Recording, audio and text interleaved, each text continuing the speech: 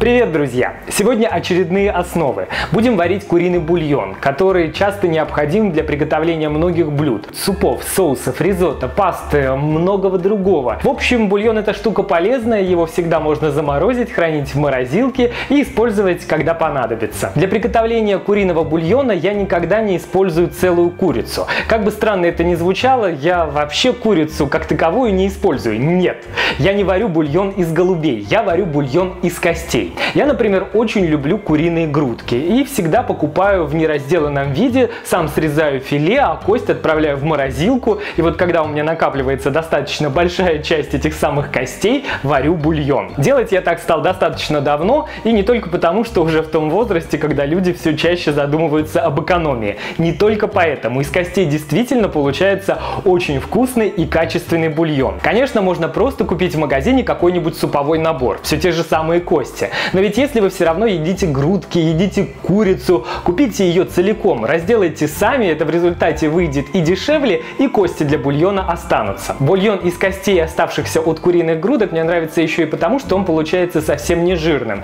Можно также использовать и хребет, оставшийся от целой разделанной курицы. А если хочется бульон понаваристее, можно в кастрюлю к костям отправить и целый окорочок. Сам процесс приготовления совсем не сложный, потребует совсем совсем чуть-чуть вашего внимания и чуть больше времени. Прямо не размораживая, помещаем все кости в глубокую кастрюлю и заливаем очень холодной водой. Вода должна быть именно холодной, не теплой и уж совсем ни в коем случае не горячей. Кстати, от качества воды тоже очень зависит результат, поэтому лучше брать фильтрованную или вообще бутилированную. Включаем средний огонь и оставляем воду закипать. Тем временем не бездельничаем, а занимаемся овощами. Морковь чистим и нарезаем достаточно крупно. Также крупно нарезаем и сельдерей.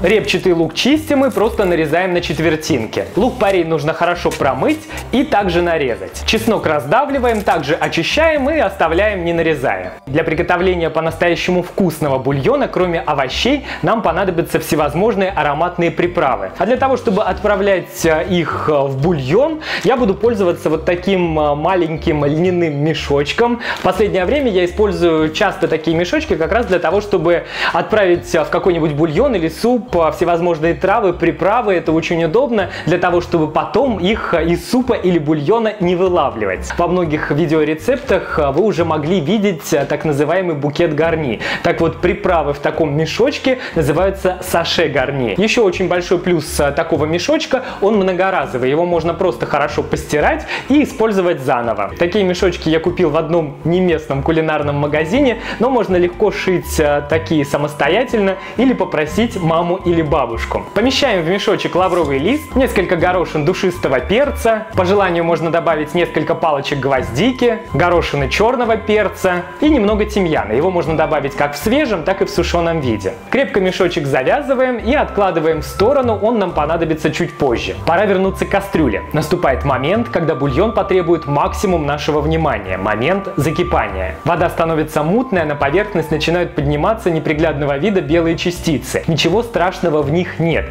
Это всего лишь свернувшийся белок. Можно было бы оставить все и так, но если все эти частицы не удалить, не снять с поверхности, бульон в результате получится мутным и некрасивым. Поэтому берем ложку и тщательно все это снимаем. Это нужно делать именно в момент закипания. Максимальное количество белой пены появится в тот момент, когда бульон начнет кипеть. Эту пену также нужно очень быстро и тщательно снять. Если всего этого не сделать вовремя, вся эта белая некрасивость от кипения снова распадется на на мелкие частицы и прозрачность бульона уже не спасти. Удалив с поверхности всю пену, добавляем в кастрюлю овощи. И снова доводим до кипения. При необходимости также снимаем пену и добавляем соль. Вот тут нужно быть очень аккуратным. Бульон будет вариться долго, жидкость будет испаряться. И если вы добавите сразу все количество соли, в результате бульон может оказаться пересоленным. Поэтому добавляйте немного в начале, соль поможет выделиться ароматическим веществам из продуктов и в конце уже просто досолите по вкусу. Закрываем бульон крышкой и оставляем вариться на слабом-слабом огне в течение двух часов. Затем добавляем саше гарни, наш мешочек с приправами,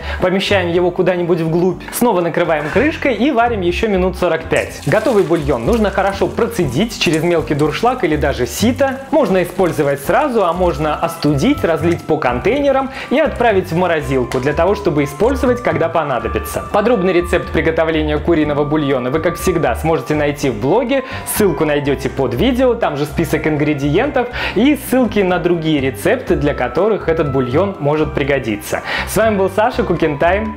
Пока-пока!